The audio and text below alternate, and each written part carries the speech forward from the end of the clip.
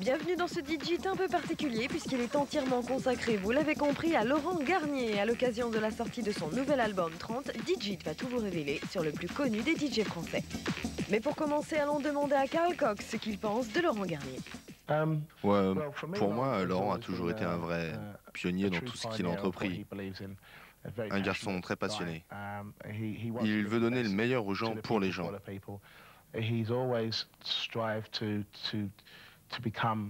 Il a toujours essayé d'être quelqu'un qui mérite le respect. Comme moi, il n'a jamais fait ça pour l'argent, il ne le fait toujours pas d'ailleurs.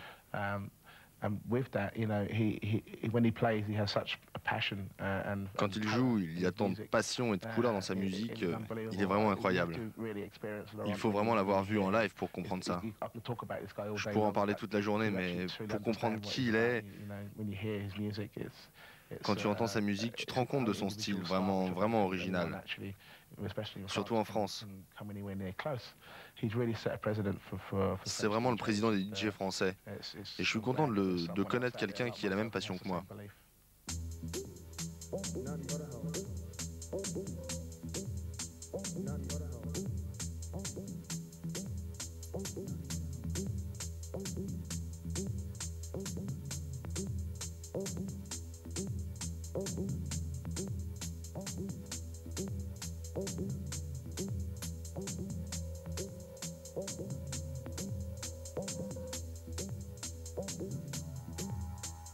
Mon père était forain euh, jusqu'à jusqu'à puisque j'ai 6-7 ans, donc c'est un peu jeune.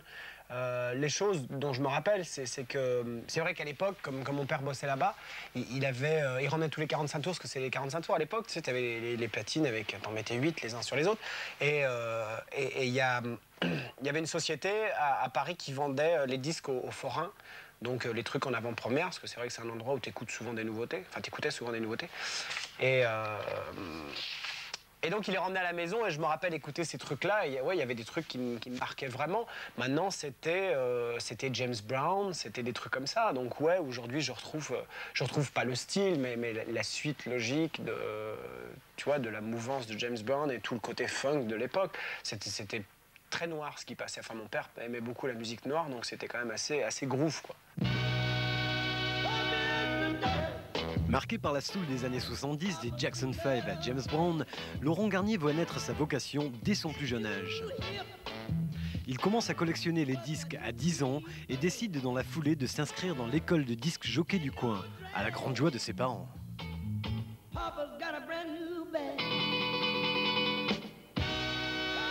Quand tu as 12-13 ans et tu dis à tes parents, euh, euh, tu sais, je viens, pas d'une famille riche, donc euh, tes parents qui bossent énormément pour pouvoir gagner de l'argent, tu leur dis, moi je veux être disque jockey, ils te font, ouais, t'as raison, rentre dans ta chambre, va te coucher, puis on verra demain. Et, euh, c'est pas un métier pour les parents, c'est normal, tu vois. Aujourd'hui, je les comprends tout à fait. À l'époque, je les comprenais pas. Aujourd'hui, j'ai un peu grandi et, je, comprends leur, leur peur. C'est un peu normal quand tu leur dis, je vais faire l'école de disque jockey, ils te font, tu vas mettre des disques toute ta vie, c'est super métier ça. Euh, je pense qu'ils ont, ils, ont jamais compris euh, la passion que j'avais pour ce truc-là. Donc, euh, donc voilà, c'était ça. Donc ils, m'ont, ils m'ont fait faire l'école hôtelière. Et puis j'ai fait, ma mère était coiffeuse, donc j'ai fait un peu de coiffure à partir de 14-15 ans. Tu vois, je bossais dans les salons de coiffure de, de, de, de ma famille. donc je faisais des shampoings et des conneries comme ça. Mais mais ouais, ils étaient, ils étaient surtout réticents là-dessus parce que pour eux, c'était pas un métier, ça c'est sûr et certain. À 16 ans, Laurent part à Londres finir ses études dans une école hôtelière. Diplôme en poche, il travaille à l'ambassade française de Londres, pour finir à Manchester, la ville qui a donné ses lettres de noblesse à la house britannique. Il est embauché à l'Hacienda comme cuisinier, mais aussi comme DJ. L'Hacienda, c'est la Chapel House de Manchester, le lieu magique où l'on croise tous les grands artistes du moment, de New Order au Happy Mondays, avec une date clé, l'été 87, le fameux Summer of Love. L'été le plus chaud, c'était l'été 87. ça a été l'été 87 et le début 88 quoi. Tout, tout 88 euh, jusqu'à l'été. Donc moi je suis parti l'été, je suis parti au mois d'août en 88, mais les 6 premiers, 6 7 premiers mois ça a été euh, Ça a été la folie. C'est vrai que j'ai vu des rêves où il y avait 5-6 000 personnes, où, il y avait à 3 h du matin des embouteillages sur les autoroutes, tellement il y avait de gens qui cherchaient, on savait pas où c'était, et, c'était tout le monde se suivait. Donc, arrivé à un moment où c'était blocage total sur l'autoroute, quand avait 2000 bagnoles, tu vois, avec 3 h du matin. Donc, ça, c'était vraiment drôle. Euh, été dans des soirées à Liverpool où c'était mais la guerre totale. T'avais tout le monde hurlait, t'entendais même plus, alors que les sonos étaient hyper puissants, t'entendais plus le disque tellement les gens hurlaient. C'était les, espèces de cornes de brume. C'était une folie totale. C'était génial, génial, génial. C'est vrai que c'est un temps que je regrette un peu, mais je trouve qu'il y, a plein de choses bien aujourd'hui qui font que ça, ça vaut le coup d'être, vécu aujourd'hui, tu vois. Mais euh, ouais, c'était une époque très forte où il y avait vraiment des émotions fortes.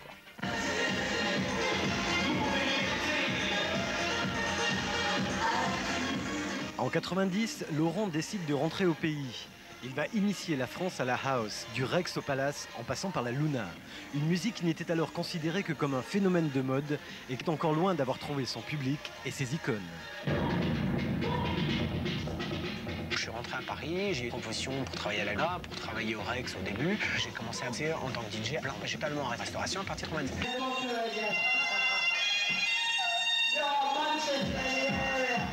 Que j'ai fait Pro 10 en 91. Pardon, j'ai venu avant euh, 91. c'était que les platines et c'est la première fois que je suis rentré dans un studio. C'était un comme moi qui avait des machines. Je suis rentré dans son studio et, euh, je voulais simplement faire un jingle pour une deux soirées. Tu vois, je touchais trois tons, voir comment ça se fait. Et euh, j'ai touché un peu plus que trois boutons. On a fait un morceau. Le lendemain, j'ai été dans une, dans une boutique de disques. J'aurais dit tiens, écoutez les merdes qu'on a fait hier. Nous ont dit on signe. Je fais bon, bah écoutez, si vous voulez, on signe. Si vous voulez sortir mon disque, allez-y. Hein. Moi, je veux bien, ça me fait plaisir. Le disque sort et va quand même vendre à 2000 exemplaires. Le DJ va ainsi prendre goût au studio et à la composition. D'autant plus que Laurent Garnier va rencontrer Eric Morand, un ancien de chez Barclay, qui monte son label chez Fnac Music et signe Illico, le DJ pour Poignée de Maxi. La suite, c'est l'association Moron-Garnier pour la création du label FCOM. Mais ça, c'est une autre histoire.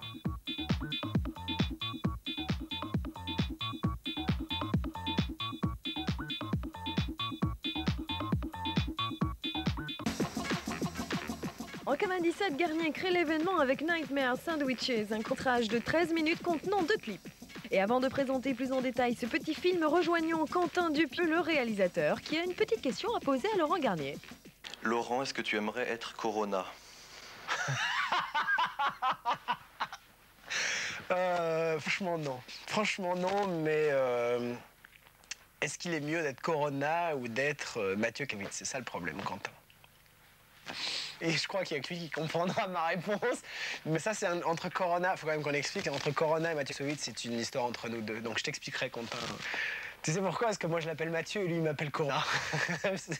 Est-ce que j'aimerais être Corona? Non, pas vraiment. Euh, non, franchement pas. Là, c'est la réponse. Franchement pas. Parce qu'en plus, tu me prendrais beaucoup plus cher pour faire mes clips. Avant de faire Nightmare Sandwiches, Quentin Dupieux, c'est lui, n'avait jamais réalisé de clip. Son travail évite donc tous les clichés du genre pour offrir une œuvre étrange, personnelle, à l'opposé de tout ce que l'on aurait pu attendre. Une fois de plus, Laurent Garnier brouille les pistes.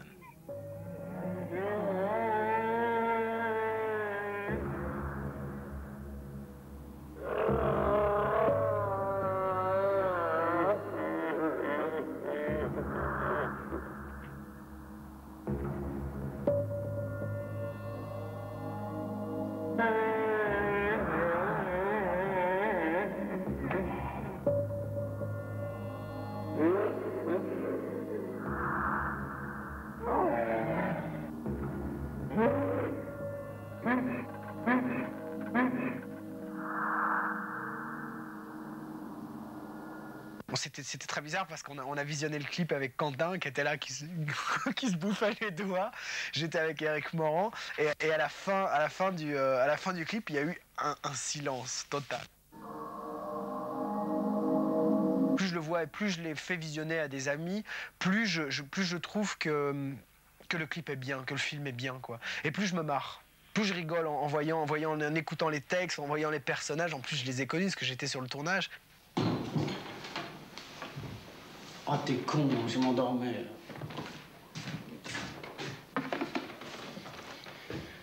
Bah, c'est pas des sandwichs qu'on voulait. Bah, quoi? On voulait des cafés, pas des sandwichs. Il est tard, là, on va fermer. Je pourrais en avoir un. Il y avait plus de passages avec les sandwichs au début, je sais pas, il doit être obsédé par les. Quentin, t'es obsédé par les sandwichs.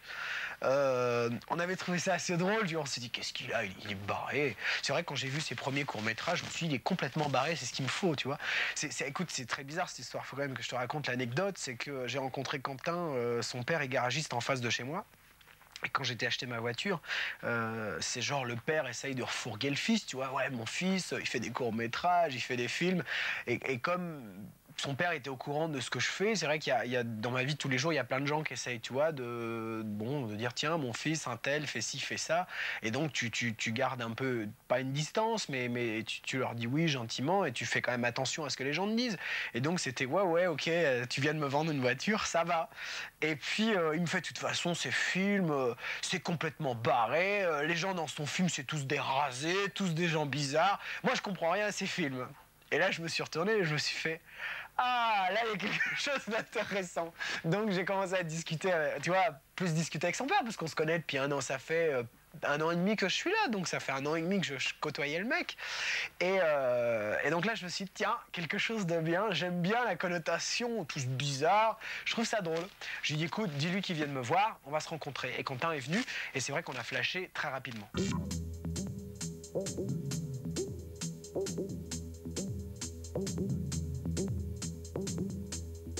Malgré tout, le film risque de dérouter une partie du public de Laurent Garnier. Le risque est-il calculé? Non, je crois que c'était plutôt pour changer euh, l'image, de la que la techno peut donner aujourd'hui, c'est-à-dire euh, tout le monde est content, tout le monde rigole, euh, que des images 3D, que des images cyber, cyber à la con, et c'était peut-être bien aussi de de donner un côté peut-être un peu plus rock. Enfin, je sais pas si c'est rock le clip, mais, mais ouais, il a peut-être une connotation un peu plus rock, un peu plus dark, quoi. Euh, c'est vrai que la vie de tous les jours, c'est pas très drôle. Et euh, puis, ouais, c'était bien de faire quelque chose de différent pour casser tout ce qui est fait jusqu'aujourd'hui. Dans le clip de Ho, quelque chose nous a particulièrement marqué, la présence de deux platines très très bizarres. Elles marchent toutes les deux? On les a fait marcher toutes les deux? Euh, il y en a une, la petite, c'est, euh, elle est dans le, catalogue Art Déco. Euh, elle, vaut extrêmement cher, la toute petite Philips. Et la grosse blanche, elle, c'est une Tine Philips aussi des années 70. C'est très beau. Parce que dedans, dedans tu des petits néons, elles s'allument, tu as la radio, le son est vachement bien. C'est intéressant, ces platines. On voulait casser l'image du disque jockey, starification. On voulait que le mec soit au fond du bar avec euh, ses lunettes à deux balles, son col, euh, tu vois, sa grande chemise et puis sa clope et qui joue devant personne. Enfin, quand il joue pour lui, euh, dans son casque.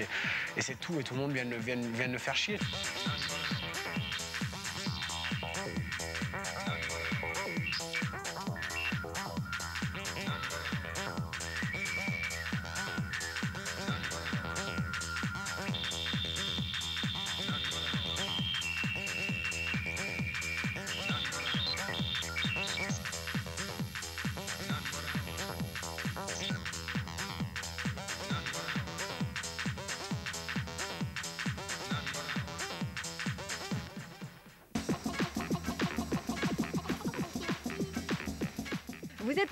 Digit spécial Laurent Garnier. Alors comme on a été faire un petit tour au Midem, salon du disque à Cannes, on en a profité pour savoir ce que justement les gens pensaient de Laurent Garnier. Laurent Garnier, c'est quand même l'ambassadeur français le plus émérite, puisque bon, euh, ça fait longtemps qu'il est là et vraiment c'est une excellente carte de visite pour la techno française. Ça fait plaisir qu'il y ait des mecs comme ça qui viennent triper, qui viennent mixer de plus en plus. C'est un des premiers. Euh, ça emmène, ça crée des nouvelles générations de DJ, ça, intéresse, euh, ça fait un peu bouger les choses parce que bon, la France n'est pas encore euh, tellement réveillée. Quoi. Il faudrait qu'il y en ait quelques-uns en plus quoi, de Laurent Garnier. Quoi. Laurent Garnier? Non, pas du tout. Laurent Garnier? Il y aurait plein de choses à dire sur Laurent, mais euh, que du bien, parce que, parce que voilà, si la scène française euh, techno commence à être connue, c'est parce que Laurent est allé quand même en Angleterre, lui, depuis très très longtemps, et voilà, donc euh, ne serait-ce que déjà par rapport à ça, puis aussi par rapport à sa musique, par rapport à plein de choses, je veux dire, bravo, oui, bravo, chapeau, quoi. Chapeau au bague, Laurent. Laurent Garnier, je le connais très peu en fait. Bah, Laurent Garnier, bah, en fait j'ai fait les trois jours avec lui à Tarascon. Bon bah moi je me suis fait réformer, lui il a fait l'armée c'est un truc, une chose ou l'autre. Faut voir, c'est la techno, ça rend dingue. Garnier, Laurent Garnier. Euh, j'en pense euh, pas grand chose. C'est vrai qu'on fait pas trop la même musique, mais euh, pense que tout le monde s'accorde dans le, milieu de la musique pour, dire que c'est quelqu'un qui fait euh, les choses bien et de mieux, de mieux en mieux. C'est un grand phénomène de mode apparemment dans la techno euh, euh, à l'aube de l'an 2000, mais enfin moi, c'est pas plus que ça. Quoi. Je suis pas un grand fan, mais gens qui me, qui me draguent et qui me le prouvent, peut-être que ça le fera. J'en sais rien. Quoi dire de plus, euh, Laurent Garnier Big Kiss des Atomic Girls. C'est un des plus grands DJ internationaux, absolument. Euh, de toute façon, enfin, sur la place techno mondiale, il n'y en a pas 36 000 enfin, qui sont vraiment connus. Et Laurent fait partie des cinq premiers. Euh, et un petit cocorico, il est français, c'est bien.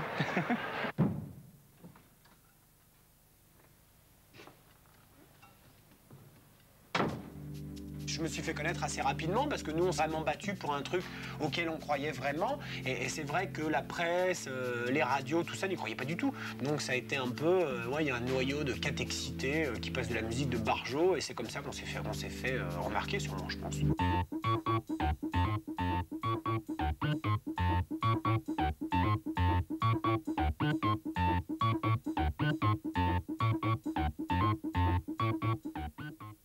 Devient beaucoup plus difficile d'avoir un son propre à un pays.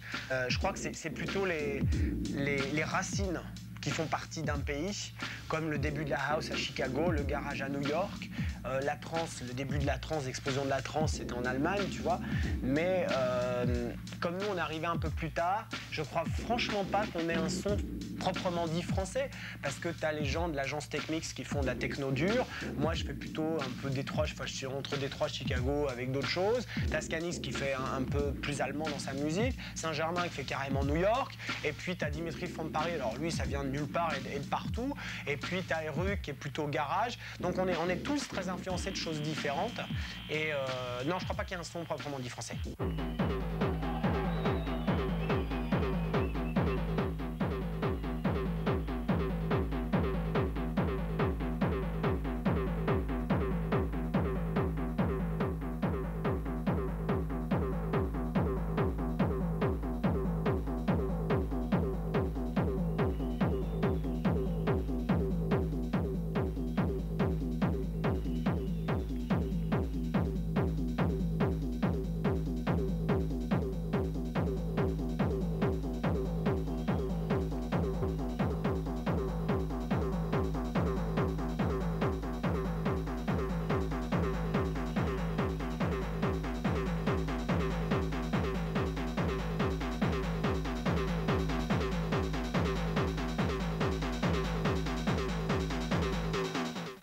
C'est vraiment un truc à deux. Donc c'est vrai qu'Eric est toujours au bureau et lui s'occupe de tout ce qui est euh, contrat, artiste. Moi j'ai plutôt le côté je voyage, je fais découvrir les artistes, les artistes dans le monde entier. Tu vois, moi j'emmène les disques, je fais un peu la promo. Et comment définirais-tu 30 ton nouvel album? C'est euh, très influencé de ce que j'écoute à la maison.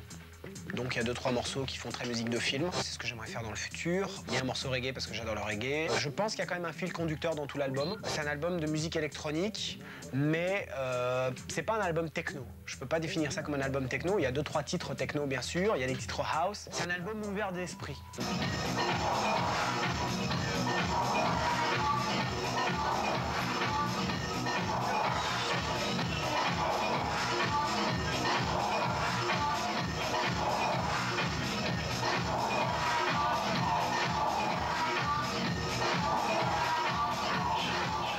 DJ, c'est un créateur. Un DJ, c'est un mec qui, qui, euh, arrive à sentir sa piste, arrive à, avoir les émotions avec les gens et à jouer la bonne musique au bon moment. C'est ça qui est vachement important. N'importe qui peut mettre deux disques l'un après l'autre. Tu sais, à partir du moment où tu as compris ce qu'il y a un tempo et à rentrer le tempo et à pas être assez stupide pour pouvoir le, le, Tu vois, si tu travailles un peu, tu peux le faire. N'importe qui peut le faire. Un bon DJ, quelqu'un qui forcément aime danser et sait danser pas sait danser du point de vue de la qualité, mais, mais reçoit des émotions, donc aime danser. Je pense que c'est la clé d'un DJ. Si tu ne sens pas le moment où tu dois passer tel titre ou tel truc, ou tel tel style musical, c'est qu'il y a un problème, et, là, le, le n'est pas là.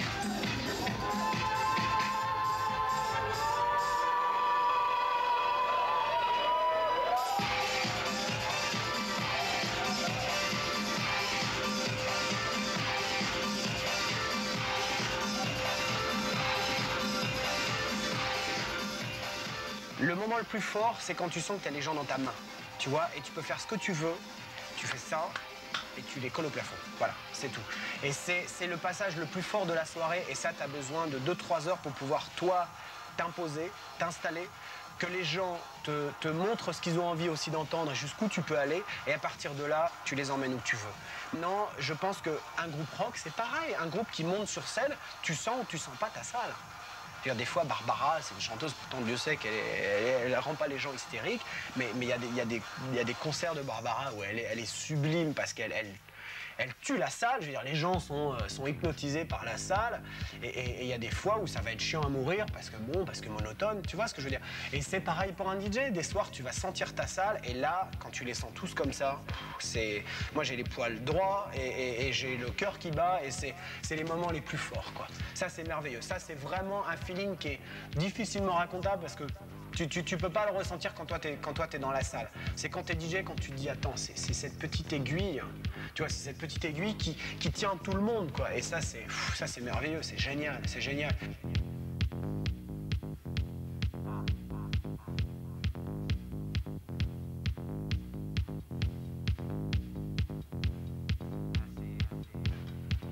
Merci, à tout à l'heure.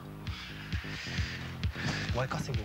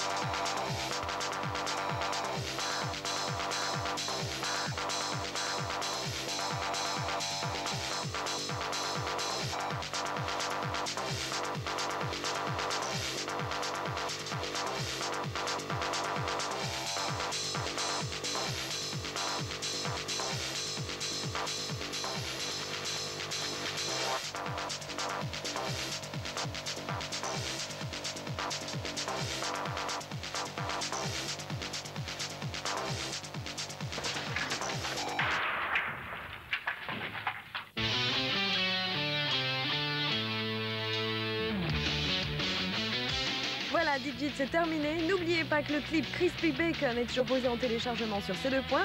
Le court-métrage Nightmare Sandwiches sera quant à lui diffusé très prochainement dans la magazine de ces deux points et ce dans sa totalité. Enfin, des extraits de l'album 30 seront disponibles en téléchargement à partir du mois de mars. Maintenant que j'ai tout dit, salut Voilà l'esprit que j'aime.